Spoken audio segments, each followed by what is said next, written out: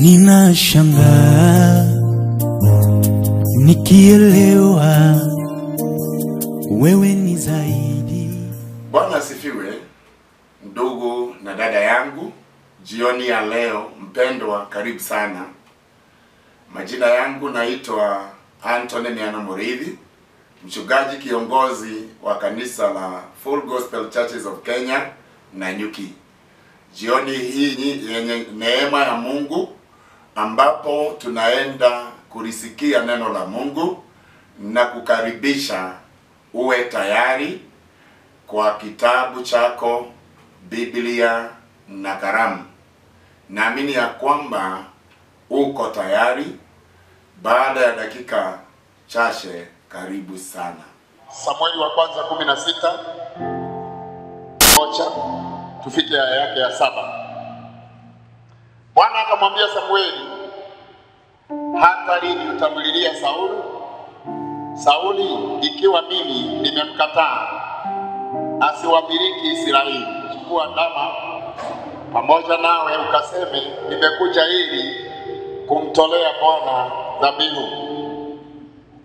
Ukamwite Yese aje kwenye dhabihu, nami nitakuonyesha utakayo ya- utakayoyatenda, nawe umtia, utamtia mafuta yule nitakayemtaja.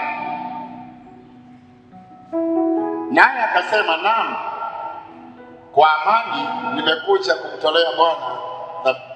Naona kama verse 4, verse 4. Samueli akafanya hayo aliyosema Bwana, akaenda Bethlehemu. Wakaja wazee wa mji kumlaki wakitetemeka, nao wakasema, je, umekuja kwa amani?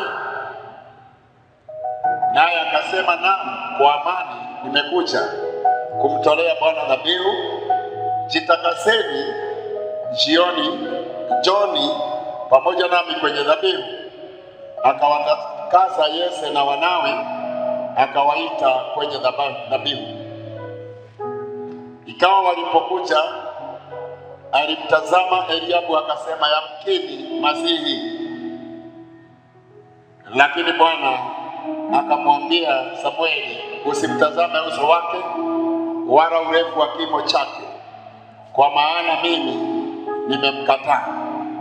Bwana aangalii kama binadamu aangaliavyo, maana wanadamu hutazama sura ya nje, bali Bwana hutazama moyo. Lakini Bwana akamwambia, okay. Ndipo Yese akamwita binadamu akampitisha mbele ya Samueli, naye akasema, Bwana hakumchagua huyu.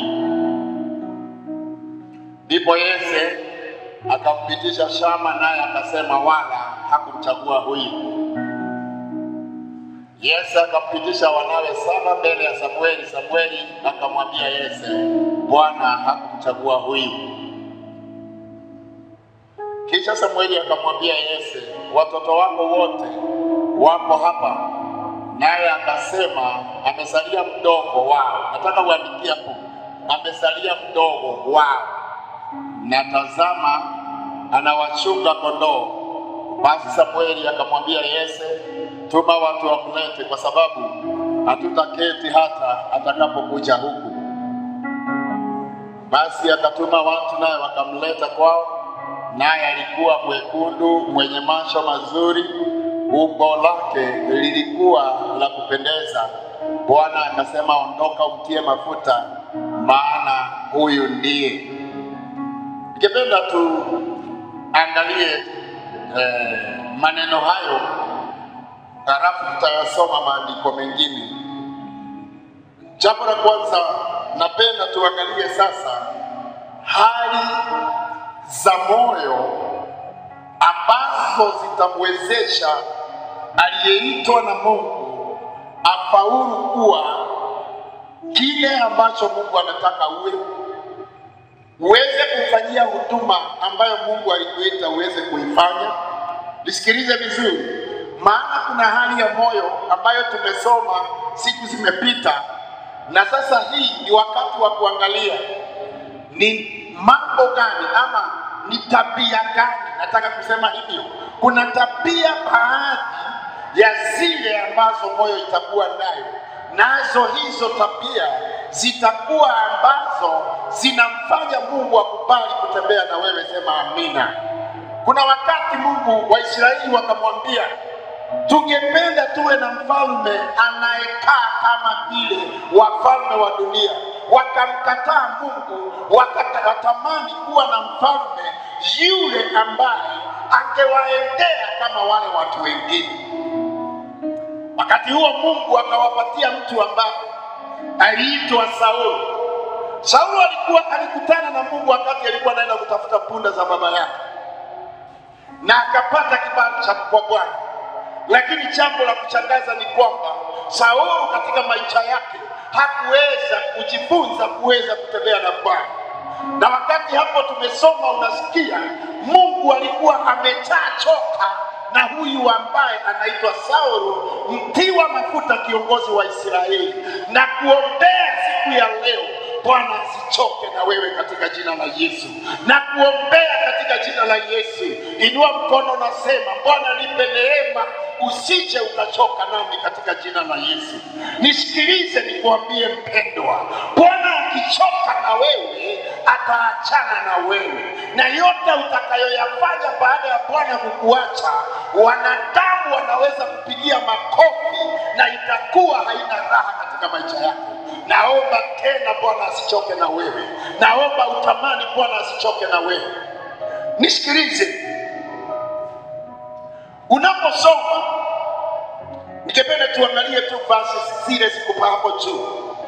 Biblia inasema ya kwamba Mungu akauliza, na nataka tujihoji tunapoendelea wakati huu, kwa sababu Mungu hajamalizana na wewe. Inua mkono, sema na nashukuru Mungu hajamalizana na mimi. Biblia inasema Samueli akajaribu kumwombea, akajaribu kuombea huyu mtiwa mafuta. Bwana anamwambia nini? Utaendelea Nasema turudi pale basi swali tunapoteremka katika jina la Yesu. Tafadhali tuweze. Bwana akamwambia Samueli, hata lini utamlilia Sauli ikiwa mimi nimemkataa asiwamiliki wa Israeli? Nataka ushike hivi, watu wanaweza kukataa, lakini hawatazuia Mungu akutumie. Haleluya! Inua mkono, sema natamani kutumiwa na Bwana siku zangu zote. Hiyo ndio kitu ya kwanza nataka tuone. Kuna moyo ambayo Mungu akichachagua kukutumia, hakuna mambo ya watu yatakayokufanya Mungu akukatae. Lakini hatari iko hapa, Bwana akija kataa mtu, hakuna watu watamwezesha kuweza kuendelea katika mbele za Bwana kwa jina la Yesu. Akaambiwa, ichapo Bwana, ichapo una huduma, ijapo naona, ichapo na kusikia, nimemkataa Sauli. Usikataliwe na Bwana. Na hivyo akaambiwa, ikiwa unataka kujua, sikai hapo na kuombea mpendwa, Mungu asikuondoe arudishe mtu mahali pako. Linda moyo wako kuliko vile ulindavyo vitu vingine, na wewe utalinda huduma yako kwa Bwana katika jina la Yesu. Linda sana moyo wako, maana uhai na uzima, maana hata huduma ambayo tunaifanya isipoundika vizuri ndani ya moyo haitaguza watu katika maisha yao. Saulo ndiye huyu. Sasa Mungu ameondoka kwa Saulo. Mbona Mungu anakaa mwenye kupendelea watu? Lakini ninapima na ninaona vizuri, hana mapendeleo. Sema Bwana hana mapendeleo. Bwana hawezi kataa mtu kama hakuna sababu, na Bwana hawezi penda mtu kwa sababu kama hakuna sababu. Akaambiwa, ijaza mafuta uende nami, nitakupeleka kwa Yese. Nataka uangalie, hata nabii Samueli alifaa kumtegemea Mungu. Anaambiwa, haambiwi uende kwa, kwa, kwa huyu mtu, haambiwi uende kwa Yese, lakini anaambiwa nitakupeleka kwa Yese. Praise the Lord, nitakupeleka. Tuache kujipeleka tena. Nasema katika jina la Yesu, fikisha mwisho habari ya kujipeleka kila mahali, fikisha kila mahali, fikisha siku ya leo. Biblia inasema katika Matendo ya Mitume kumi thelathini na nane huyo Yesu wa Nazareti akawa amejazwa mafuta na popote alienda alitenda mema, kwa kuwa Bwana alikuwa pamoja naye. Katika jina la Yesu, naomba usijipeleke, naomba usiende peke yako, kwa sababu hautafaulu. Sikia, nitasoma hilo neno, habari ya Yesu wa Nazareti, Matendo ya Mitume kumi thelathini na nane jinsi Mungu alivyomtia mafuta. Haleluya! Saulu akatiwa mafuta akashindwa kutembea na Mungu, lakini tunamwona Yesu akatiwa mafuta kwa Roho Mtakatifu na nguvu, naye akazunguka huko na huko akitenda kazi njema na kuponya wote walioonewa na Ibilisi, kwa maana Mungu alikuwa pamoja naye. Tupigie Bwana makofi, hata kama uko nyumbani, endelea kushangilia Bwana katika jina la Yesu. Kwa hivyo kufaulu ambako Mungu anatafuta, anatafuta kuiongoza roho, anatafuta kuongoza moyo wa mtu ambaye ataachilia Mungu aitawale hiyo moyo ili afaulu. Inasema Yesu akaponya, kafukuza pepo, akafanya mambo mengi mema, lakini inaashiria ya kwamba alikuwa ametiwa mafuta, lakini Mungu alikuwa na yeye. Weka mstari hapo, Mungu alikuwa pamoja naye. Roho asiyoiweza kuongoza mtu Mungu, hata roho ya mtu aliyeitwa katika huduma hawezi faulu katika kazi ya huduma, hawezi faulu katika maisha ya Kikristo, hawezi faulu kama muumini asipoweza kuachilia roho yake iongozwe na huyu Mungu. Biblia inasema turudi pale, Mungu akamwambia, angalia vile ilifanyika. Samueli akajulikana sana,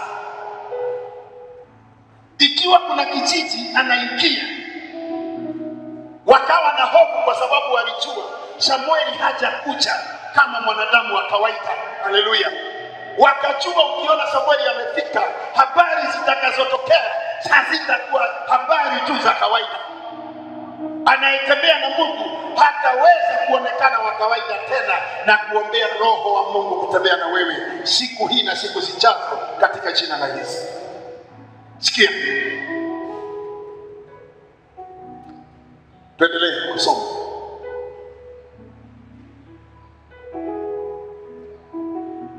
Samueli akasema, niwezaje kwenda? Saulu akipata habari ataniua. Kwa hivyo bila Mungu utakufa. Bila Mungu huduma zinakufa. Bila Mungu biashara zinakufa. Bila Mungu familia zinakufa. Pokea ujazo na mafuta mapya katika jina la Yesu, lakini usitembee bila Mungu. Inua mkono, sema nipe neema nitembee na wewe siku zote. Hata yeye alijua Sauli hakuwa mchezo. Adui wetu shetani si mchezo. Ha- Hauwezi ingia uwanjani bila Mungu na ufikirie utaendelea vizuri. Mwone huyo Samueli akajua nimetiwa mafuta. Samueli akajua ninafanya kazi ya Mungu, lakini akawa bado anaogopa, Saulo atanifanya namna gani akijua niko hapa? Nisikie, Mungu akampatia hekima. Haleluya, akampatia hekima. Sema Mungu nipe hekima. Kama unafikiria ni rahisi Mungu akamwambia, chukua ndama pamoja nawe, ukaseme nimekuja kumtolea Bwana dhabihu. Haleluya! Hekima ya hali ya juu.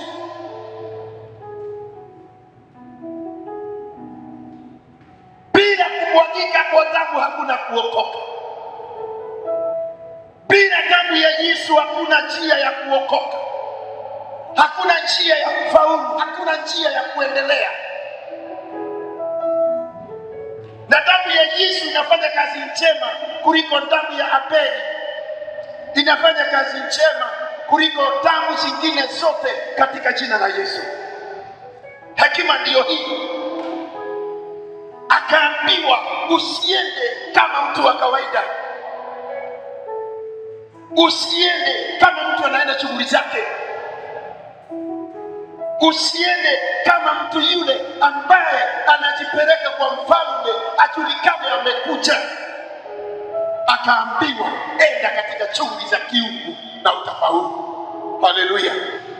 Na mimi nasema tubadilishe yoyote tutakayoyafanya, iwe kwa huduma, iwe kwa biashara, iwe kwa mambo yetu, na iwe ya kwamba tunayafanya kwa utukufu wa jina la Bwana, na yatalinda mambo yote tunayoyafanya. Linda moyo wako kuliko vyote ulindavyo, na utaelewa siku ambayo ni siku ya kutoa dhabihu, na utaelewa siku ni siku gani ya kusimama mwanya kwa sababu ya Bwana, katika jina la Yesu. Samueli, Saulu alikuwa amekataliwa, lakini unaona, kwa sababu ya kukataliwa, moyo wake umechafuka, moyo wake umeharibika, akashindwa kulinda moyo wake, akakosana na Bwana. Kwa hivyo hangekuwa na heshima na hata yule mtu ambaye angeweza kumrejesha kwa Mungu katika jina la Yesu. Kuna watu ambao wanashinda siku hii ya leo, kuna watu wanaumia hata siku hii ya leo kwa sababu hawakufaulu kuheshimu wale ambao walitumwa wakaweze kuwarejeleza kwa Bwana katika jina la Yesu. Inua mkono, sema Bwana, nipe neema na hekima. Sema vizuri, nipe neema na unipe hekima. Uone habari ya kutembea na huyu Mungu katika roho yako, anataka uendelee. Tunasema lazima moyo wako uwe na amani.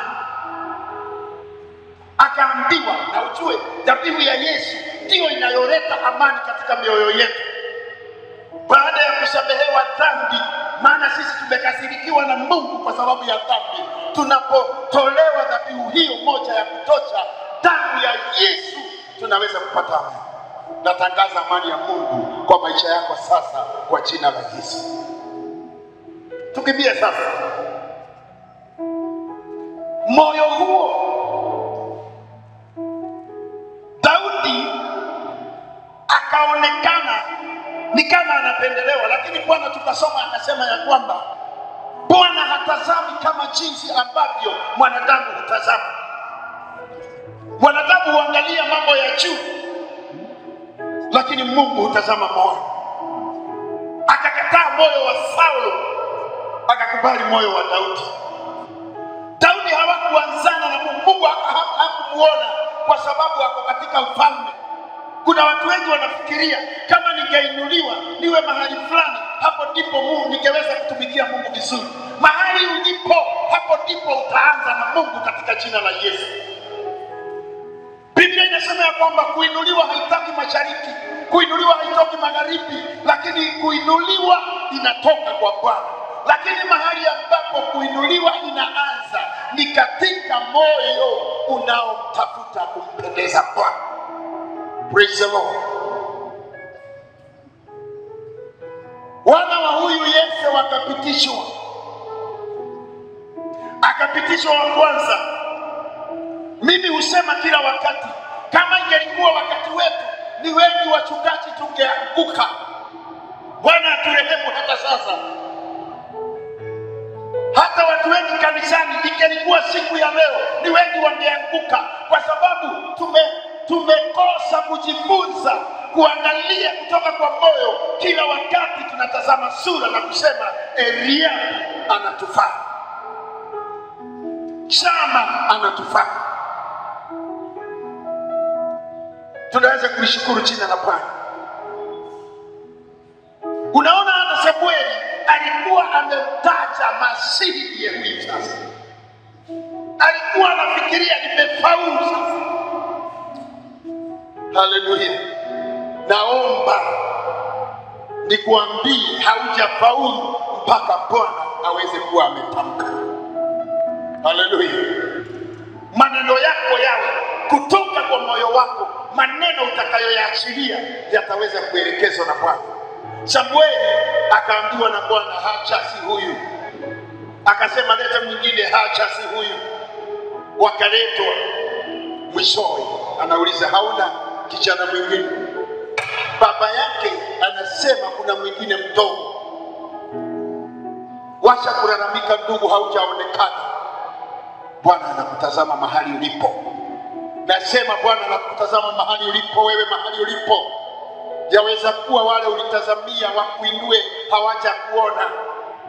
Yaweza kuwa wale ulifikiria ndio Mungu alituma wakuinue hawaja kuona. Nasema wakati wako uko karibu na itafika, na akishasema haitazuiliwa. Jambo linalonifurahisha ni hili, wakati Samueli alisikia kuna mwingine alisema siketi chini, alisema hatutatulia Haku, akasema hakuna business nyingine, business ni ya Mungu katika jina la Yesu. Nataka uinue mkono, nasema siketi mpaka nitambue business ya Mungu kwa maisha yako. Sema hivyo, inua mkono, sitaketi mpaka nitambue business kupitia Roho Mtakatifu. Nataka uelewe kinachokufaa kuanzia wakati huu katika jina la Yesu. Samueli akasema hakuna siketi. Samueli akawa hana haraka, nyumba ya Yese ikasimamishwa, kila kitu ikasimama Israeli yote, kwa sababu business ya Mungu kuna mtu anaielewa na haijatimishika, lazima kwanza wapate Masihi. Sikia, Biblia inasema ya kwamba naye Mungu akasema, mimi nitakupeleka kwa Yesu. Praise the Lord. Praise Jesus. Kama ni Mungu atakupeleka kwa Yesu, hata kama utateleza, hautaanguka. Inua mkono, sema ninaweza teleza, lakini sitaanguka. Yes, naweza tereza. Samueli akatereza mara ya kwanza, akatereza mara ya pili, akatereza mara ya tatu. Unaweza tereza, lakini nimekuja nikutangazie, hautaanguka kwa sababu moyo wako watafuta kuyafanya mapenzi ya Bwana katika jina la Yesu. Yaweza kuwa kuna biashara ulianza na umemwalika Mungu katika hiyo biashara. Kuna kazi unafanya na Mungu alikuwepo ulipoanza, ijapo haijapiga haijainuka na kutangazia, bado itaweza kuendelea, bado itaweza kusimama, bado itaweza kuimarika, maana umeita Mungu na ameweza kuja ili aweze kukuinua katika jina la Yesu. Inua mkono, sema nimebarikiwa, nikija Teresa sianguki. Basi lakini lakini sasa ufalme wako hautadumu. Bwana amejitafutia mtu aupendezaye moyo wake, naye Bwana amemwamuru yeye kuwa mkuu juu ya watu wake, kwa sababu wewe hukulichika neno la Bwana alilokuamuru. So tusimame pale, alafu tutaingia zaidi. Biblia inasema hivi, Mungu anaongea na Sauli ambaye alitiwa mafuta, amewahi kutabiri, huduma yake ni kubwa, lakini anasema mimi sasa nimejitafutia mtu mwingine, watu wasione mapendeleo, lakini mimi nikipima, nimeona na watu wanaweza tambua na wanaweza jua, nilikupea neno langu, umekuwa mwasi, haukulinda moyo wako, haukutafuta tutembee pamoja. Akamwambia Bwana Praise the Lord. Inua mkono wako, sema Bwana, naomba uhakika ni wewe umeniita. Bwana akupe uhakika. Kuna watu wametafutwa na watu na hawataenda mbali, ijapokuwa na shukuru. Unaweza itwa na watu wakuweke mahali, lakini mtafute Bwana akuweke mahali pako katika jina la Yesu. Nyumba ya Mungu iko na mahali mingi ya kufanya kazi. Usiwekwe mahali fulani, tafuta Mungu akuweke mahali pako. Nyumba ya Yesu, Daudi alikuwa ameonekana, alikuwa mdogo, akawa tu kazi yake, pengine angeendelea kidogo kiasi kikubwa kuendelea kuwa huyo kijana mdogo wa kukaa malichoni, lakini Bwana akija kutazama, unabadilishiwa hali na maisha yako yanageuka katika jina la Yesu. Mafuta yakawekwa juu ya kichwa chake. Napenda kusema nini? Akawa mtu ambaye mwenye roho ya kumpendeza Bwana. Nataka kuhimiza mioyo yetu siku ya leo, tuache kufuata kuwapendeza watu, tufuate kumpendeza Bwana, kwa sababu Mungu anasema haangalii nje, anaangalia ndani, na akisha angalia ndani na aone roho yako, moyo wako unakaa jinsi ambavyo anavyotamani, anavyokuelekeza. Jambo lile nina uhakika nalo ni ya kwamba anakuinua. Mambo mawili yatapatikana kwa ulimi wako. Andika la kwanza kwenye ulimi wako, maana roho yako imekuwa chemichemi. Kwenye ulimi wako kutakuwa na mamlaka. Ya pili, kwenye ulimi wako kutakuwa na nguvu katika jina la Yesu. Nataka uone Daudi baada ya mambo yale ya kumwagiwa mafuta akawa na ushuhuda, na Biblia inasema katika Matendo ya Mitume, sitasoma lakini inasema ya kwamba Daudi huyo akashuhudiwa na Bwana. Tuendelee kiasi, niseme hivi, yule mwanaume yule mwanamke ambaye hali yake ina kumpendeza, ni lazima siku zote awe nia na kusudi zake. Ni hali ya kumtafuta Bwana, ni hali ya kumtafuta, ni hali ya kumfuata, ile hali ya kwamba Biblia inasema. Ningependa tuangalie katika kitabu hiki Mambo ya Nyakati kumi na sita aya yake ya tisa kuelekea kwake kwa hayo umetenda upumbavu, kwani tangu sasa utakuwa na vita. Sikia, huyu ni mfalme aliyekuwa anaitwa Asa, na ukisikia mfalme Israeli ujue ni mtia, ni mtiwa mafuta, aliyepewa nafasi ya mamlaka, aliyepewa nafasi ya nguvu, aliyepewa nafasi ya kuwa amri jeshi mkuu.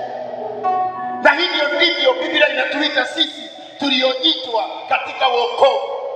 Sisi tunaitwa ukuhani wa kifalme. Haleluya! Sisi ni ukuhani wa kifalme. Wewe ni kuhani, lakini kwa sababu ya Yesu mafuta yako si ya kiukuhani tu. Kuna mafuta ya kifalme, na sio mafuta ya kifalme tu, kuna mafuta ya unabii. Mambo matatu nataka uandike mahali unaweza faulu katika maisha yako, moyo wako ukimfuata kumpendeza Bwana. Namba one, umekusudiwa kutembea katika mafuta ya kikuhani.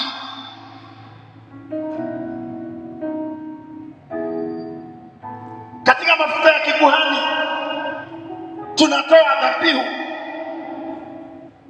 tunafanya ibada, tunafanya maombi tunafanya maombezi na Mungu anatuheshimu katika jina la Yesu.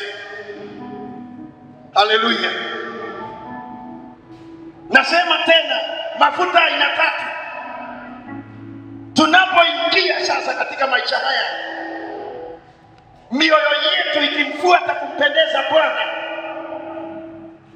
mioyo yetu ikiwa ya kwamba inaelekea kwake. Kuelekea kwake ni kwamba a loyal heart moyo ambayo haitazami mwingine kumwinamia, kumheshimu, inamwinamia, inamheshimu Mungu. A loyal heart, moyo ulioelekea kwake. Namba wani kasema mafuta ya kikuhani yataonekana juu yako.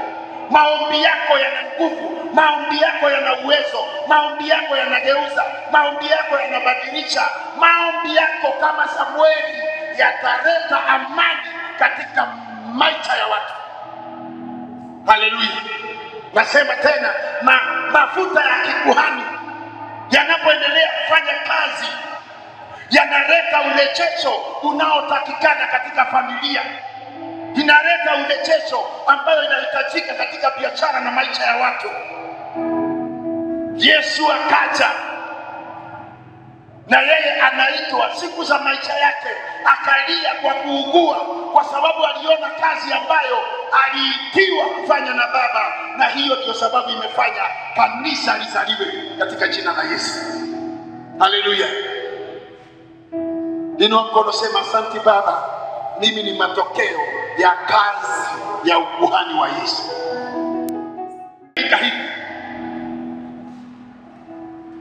Mafuta mengine ama levo ingine ya mafuta inaitwa mafuta ya kifalme.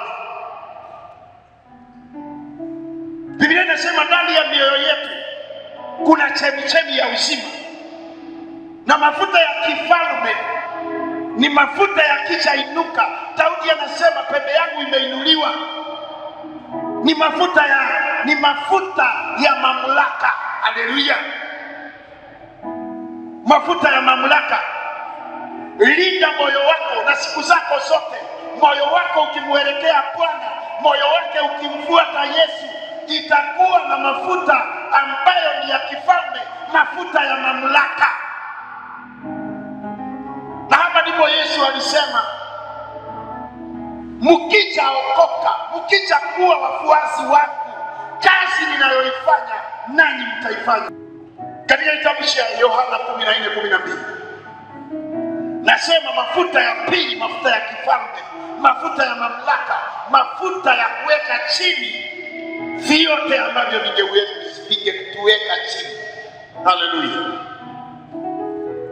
Amini, amini nawaambieni, yeye aniaminie mimi, kazi nizifanyazo mimi yeye naye atazifanya na na kubwa kuliko hizo atafanya, kwa kuwa mimi naenda kwa Baba.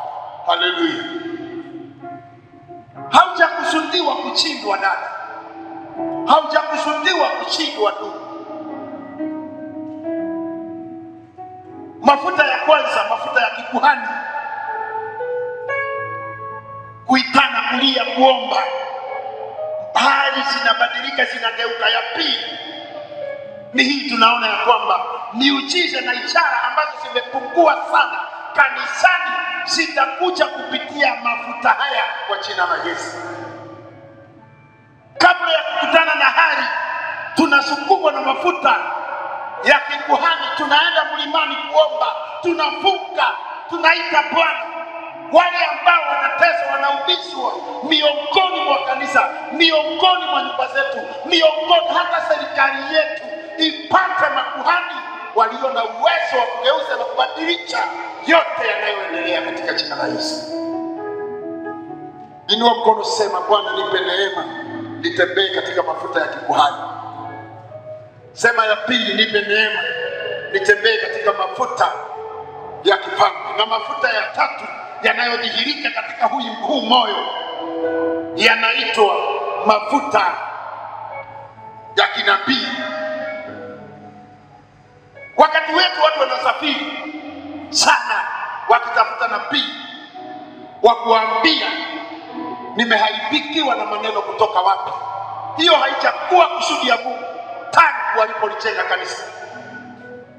Hakuna mtu alifaa kuingia gari ya safiri akaenda kutafuta nabii atakayemwelekeza kumwongoza. Aliyekataliwa siku nyingi ndiye huenda kuwatafuta manabii wa kukuambia mambo inaniharibikia kwa nini. Kumbuka Sauli alifanya hivi, baada ya kukataliwa, alienda kwa mama moja aliyekuwa na roho wa uaguzi, na ninaomba katika jina la Yesu na ukubali mahali ulipo, kama umezoea kuwatembelea manabii wale wa kike wenye kutabiri na wa kiume wenye kutabiri, kila siku lazima akuambie mambo, kwetu mnakuliwa na nini. Nataka tutangaze hivi, ikiwa Yesu umekutana na yeye na wewe, hauhitaji nabii wa kukwambia unakulwa na nini na sijui unakulwa kwa nini.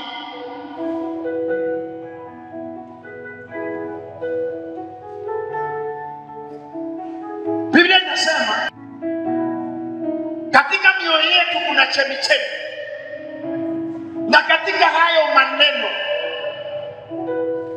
katika sauti ambazo inatoka ndani yetu, Yesu akikaa ndani yetu kwa Roho Mtakatifu, tunaweza umba na umbua. Kuna maneno ya- yaliyonenwa, yaliyozungumzwa, yamekaa kama mbegu hata kabla haujaenda kuambiwa na uelewe, hauhitaji kwenda zaidi ya pale. Simama, Biblia inaniambia Samueli akaambiwa na Mungu, nitakupeleka. Shida yetu tumejipeleka sana. Usijipeleke, ashiria Roho Mtakatifu. Tulimuona Asa, Asa akaambiwa si wakati jeshi la Ethiopia lilikuja na likawa na gari za farasi na mambo mengi, niliweza kukushinda nia. Lakini baadaye haukuona haja ya kutafuta utukuso wa Bwana. Ndugu wapendwa, kwa nini uliona ulianza na Mungu? Ulipoanza biashara ukaitana ibarikiwe, isungumziwe na ikaanza kuwa mzuri, lakini baada ya mapanduko umesahau kuna Mungu ambaye unafaa kutafuta kutoka kwake ukifanya hatua hiyo ingine. Niruhusu niseme hivi wapendwa, ukisikia umekomaa kiroho kiwango ya kwamba hauhitaji Mungu, wewe umefika mwisho wa kuanguka. Bwana atupe rehema, roho inayompendeza Bwana, roho inayomfuata Bwana, roho ambayo ni ya kutafuta kutukupenda mapenzi yake, ni roho ambayo kumakinika. Yes, tumakinike sana, usipoteanwe na Mungu katika rohoni. Inua mkono, sema Bwana, nipe neema nisipoteanwe na wewe katika jina la Yesu. Inafaa iwe ya kwamba utaambiwa kama Asa na Mungu. Kabla ya hiyo hatua, Mungu awe anakuzungumzia, na hapo ndipo roho ya mafuta ya kinabii yakafanya kazi. Maana Mungu akicha sema hakuna mtu atakufa, useme hakuna atakayekufa katika jina la Yesu. Lakini nataka uniambie, unaombea mtu na unasema hata kufa, lakini ukimwangalia unasema oh, ikai huyu anakufa. Unaanza hata kutayarisha mazishi na kila kitu, na wewe bado unaomba kila unafunga na unaomba, haujasikia Mungu, lakini hali unayoitazama inaashiria ya kwamba unaona huyu hawezi survive. Nisikie nikikwambia, utakachoona wewe na kusema ndiyo itakayotokea. Ukiona kifo, kifo itakuja. Ukiona uhai, uhai utakuja. Inua mkono, sema Bwana, ulimi wangu ulete uhai siku zote, wala si kifo. Nataka tusome Isaia moja kumi na tisa.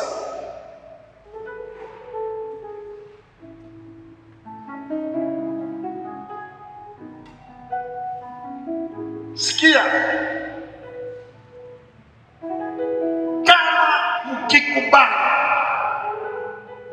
praise the Lord, ile hali ya kukubaliana na Mungu. ichapo nataka kugeuza hapa kidogo, niseme katika hiyo kukubali kuna kitu inasema kama tukikubali mapenzi ya Mungu. Hii ni hali ya mapenzi ya Mungu. Mwanadamu ako na mapenzi yake katika kila hali, hata tunapotabiri, hata tunaposema kwa mamlaka, hata tunapofanya ukuhani kwa maneno, lazima iwe ya kwamba tunafuata mapenzi ya Mungu. Moyo wenye kuyapenda mapenzi ya Bwana, hiyo ndio nasema ya kwanza, na nataka tusome tu katika hii kitabu kwa sababu ni ya maana sana. Kuna kitabu tunaita Kutoka, Kutoka, yes, Kutoka, Exodus. Tusome Exodus 35. Exodus 35 tutasoma aya yake ya tano, tusome ishirini na mbili na tusome ishirini na kenda. Tunapoangalia hiyo, nataka kusema hivi katika hilo neno la Isaia kumi na tisa kuyapenda mapenzi ya Bwana ni kusikia ya kwamba nitayafanya ni, anavyoamuru. Nataka unishike vizuri, ninataka kuyafanya, moyo wangu ina, inataka kufanya, moyo wangu haisuiliwi, inataka kufanya jinsi ambavyo Mungu anasema. Praise the Lord. Si kuchawichiwa. Unajua kuna habari ya watu kuchawichiwa siku zetu maneno maneno matamu yatumike, wengine hata karibu mchungaji ainame akisihi watu wakubali kusikia sauti ya Mungu. Bwana aturehemu katika jina la Yesu. Yule atakayekula matunda ni yule ambaye moyo wake ina shauku ya kufanya mapenzi ya Bwana katika jina la Yesu. Kwa nini? Kwa sababu moyo wake imeundika, iko sawa, iko na amani na inasikia, ninamheshimu huyu Mungu ambaye nataka kufanya mapenzi yake. Haleluya! Tusome sasa. Katoaeni kati yenu matoleo ya Bwana mtu awaye yote aliye na moyo wa kupenda ayaelete matoleo dhahabu na fedha na shaba. Nao wakaja waume kwa wake wote waliokuwa na moyo wa kupenda. Angalia, waliokuwa na moyo wa kupenda, wale waliokuwa na a willing heart. Musa ni Mungu alimwambia, ukisoma pale Exodus 25 aliambiwa pamoja, ninataka watu wawe na nafasi ya kujenga hema ya kukutana lakini Mungu akasema usiwashurutishe watu, usiwalazimishe watu, usiwasukumie watu. Haleluya! Tunasema linda moyo wako, wezesha moyo wako, wezeshwa na Mungu, pendezwa na Mungu. Na mwishowe anasema wakaleta vipini, hazama na pete, muhuri na ma, muhuri na vikuku, vyombo vyote vya dhahabu, kila mtu alivyotoa toleo la dhahabu la kumpa Bwana. Some ya mwisho ishirini na tisa. Wana wa Israeli wakaleta sadaka za kumpa Bwana kwa moyo wa kupenda. Sikia tena, wote waume kwa wake, ambao mioyo yao iliwafanya kuwa wapenda kuleta kwa hiyo kazi ambayo Bwana aliamuru ifanywe kwa mkono wa Musa. Sikia, imerudiwa mara nyingi. Mungu alipotoka, Waisraeli walipotoka Misri, wako jangwani, hata Mungu hakojei wafike. Praise the Lord. Anatamani kuabudiwa vile. Unajua, walikombolewa waende wakamwabudu, na ikawa hakuna mahali pa kukutania. Sikia niseme hivi siku ya leo, mahali pa nyumba ya kuabudia ni mahali ambapo Mungu anaheshimu sana kuliko nyumba zingine zote, na hakuna nyumba ya mtu itakayokuwa sawa na mahali ambapo ibada iliinuliwa madhabahu, watu wawe wanakutana katika jina la Yesu. Waisraeli wakalazimika jangwani, hawakuwa wanafanya kazi kama vile kazi nyingi zimesimama Kenya saa hii, na ikawa Mungu akaamuru, anaambia Musa, waambie ni yule anayependa kunitolea. Biblia inasema ya kwamba wakatoa hata pete, wamama wakatoa hata shanga, kwa sababu hawakuwa na kitu kingine, na Mungu aliweka mipaka katika jina la Yesu. Moyo wa kumpenda Bwana lazima ielewe Mungu ana mipaka. Haleluya! na kuombea katika jina la Yesu kwa maisha ya baadaye, moyo wako iwe ya kupenda, lakini elewa katika nyumba ya Bwana, elewa maisha ya kutembea na Mungu yana mipaka. Akasema nataka dhahabu, lakini anajua wako jangwani. Akasema nataka dhahabu, cha- anataka vitu vya dhamana, na anajua wako jangwani. Inua mkono, sema Bwana, nipe roho ya upendo. Usiposaidiwa na Mungu hawezi mtumikia.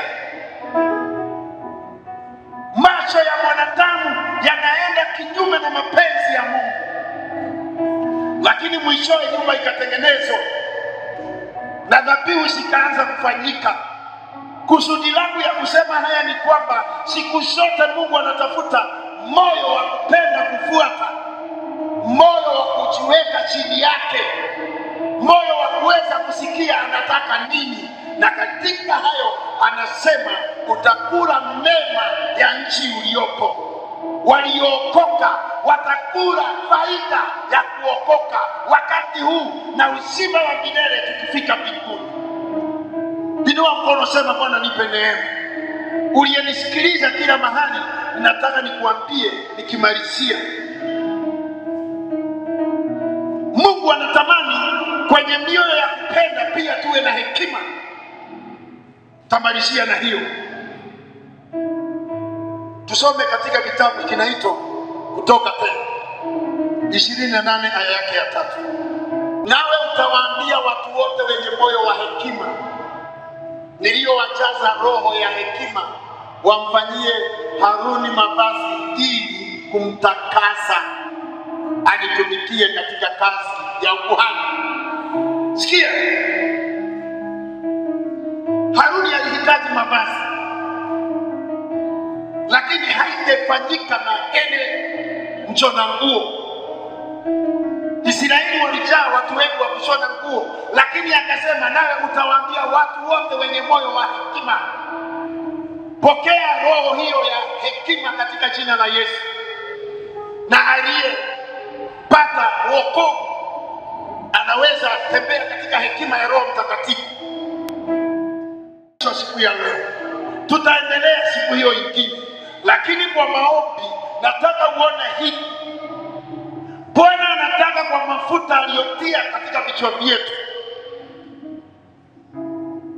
tuwe na nafasi ya we have that willing heart, hiyo moyo ya kupenda ikuongoze kumfurahisha Mungu. Usiiname chini ya kitu kingine chote, na mwishowe hekima.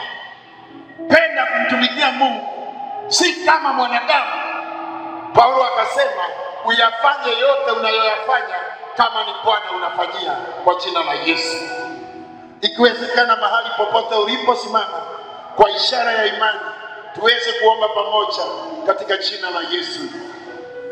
Nasema kama unaweza nyumbani, mahali popote unaponisikiliza, tunapomalizia, na ukiweza inua mkono na mkono mwingine weka kwa kifua chako, kwa imani niweze kuomba maneno haya. Bwana, asante kwa huyu mtumishi wako ambaye ameweza kunifuata kwa neno hili siku ya leo. Namwombea roho ya kumpenda Bwana, roho ya hekima, roho ya kufuata, kuyatimiza mapenzi yako, roho ambayo haiwezi epukana na wewe. Ninaomba pia Bwana waondoshe katika barabara ya kuweza kukataliwa na wewe kwa jina la Yesu Kristo. Huduma zao walionisikiza, huduma zao walionifuata zikaweze kuimarika. Familia ninaombea, kazi ninaombea, kwa kuwa Bwana wa rehema, kusudi lako ni kutuimarisha kwa hali zote Nimewabariki watu wako popote waliponisikiliza na kusema ya kwamba mema yawafuate siku zote. Asanti, wagonjwa wanaponya. Asanti, waliofungwa wanafunguliwa. Mafuta haya yaendelee hata baada ya ibada hii, katika jina la Yesu Bwana tunaomba na kuamini, amen. Asante sana ndugu na dada yangu kwa sababu ya kuwa pamoja nasi wakati huo. Tunashukuru Mungu atazidi kukubariki.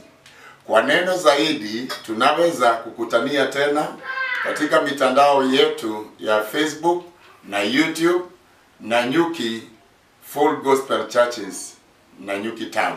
Asante sana, tukutane wakati huo mwingine. Asante.